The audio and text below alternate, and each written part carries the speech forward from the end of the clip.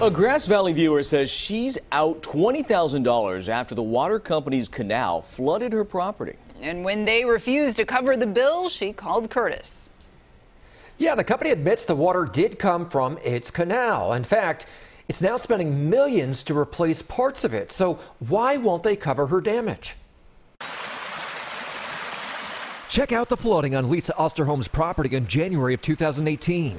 The Nevada Irrigation District's canal overflowed, buckling her driveway. She says it cost 20 grand to fix the damage. It was running like a small river, just it was unbelievable. She says she followed the district's instructions, mailing in this form within a year as required, but without an exact dollar amount because the work wasn't finished.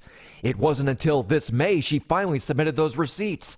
But the district denied the claim, saying it was not presented within the time allowed by law.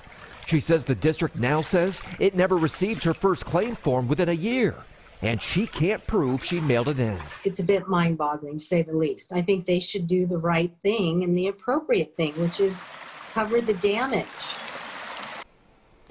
Well, the district won't talk with us about this case, concerned it'll end up in court. But we have a couple takeaways here. If an agency damages your property, you got to get it fixed right away or at least get those bids right away to fix it because wasting time often makes the repair more expensive and that could cause problems. She submitted receipts 28 months later, which could make paying this claim messy. Also, you want to make your claim in person within the time frame allowed, asking for a receipt or certified mail so you have a timestamp as proof you filed the claim in time.